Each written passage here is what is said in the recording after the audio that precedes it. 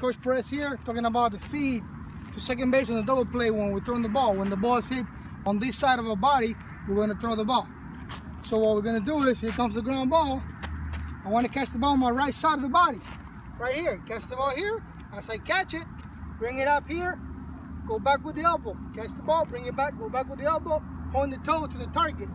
Stay close here and throw the ball. So again, when the ball comes, I know I'm going to throw it that way.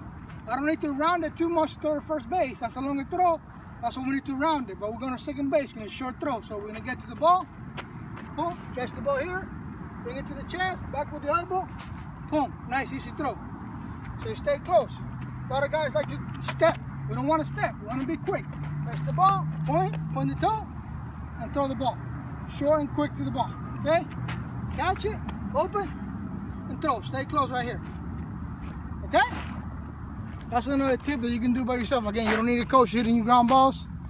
You can just do that. Get a bucket of balls, make the throws to second base, and you work on your skills. Okay? Thank you guys.